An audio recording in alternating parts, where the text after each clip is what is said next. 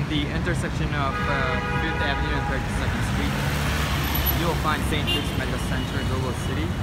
There's Metropac across the street. You'll also see 32nd and 5th here.